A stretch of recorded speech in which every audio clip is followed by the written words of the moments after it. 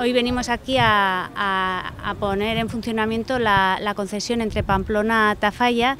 Eh, esta concesión tiene una modalidad de gestión diferente a la anterior, ya que se va a adaptar a las necesidades eh, del siglo XXI. Lo que se va a realizar es tener una visión comarcal e intermodal, ya que va a acercar a los vecinos de la comarca de Tafalla, tanto a Tafalla como a Pamplona. Se va a prestar servicio a 50.000 habitantes, va a prestar servicio también a 18 municipios que hasta ahora no tenían servicio, eh, que suman en torno a 1.000 habitantes, se va a prestar con una modalidad de servicio de transporte a la demanda con vehículo o turismo.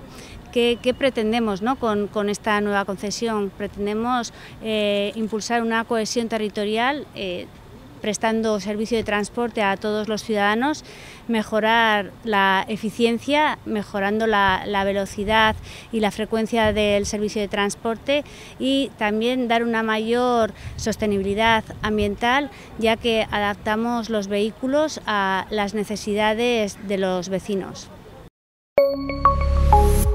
Gobierno de Navarra. Nafarroako gobernua.